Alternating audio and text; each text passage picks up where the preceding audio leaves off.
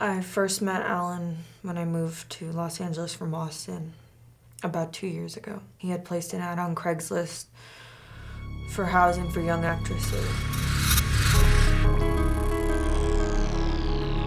There are days when I feel I woke up the last man alive. You know you're bleeding, right? Face is kind of fucked up. Sure, there are other creatures roaming through the ether. On the surface, they appear to be actual human say hello, shake your hand, a kiss on the cheek, but they are mirage. You take one step closer and they disappear. Let me tell you something about Al.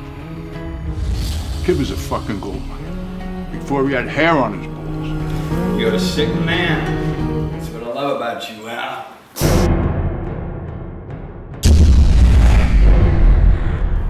All of you little insects going about your trivial insect business. I can't work with her. This is not an actress. This woman is a fraud. You will never know your place. The gods will never let you in on this cruel joke of your very existence. You're boring, mundane, lifeless. You don't know you're an ant. You just are.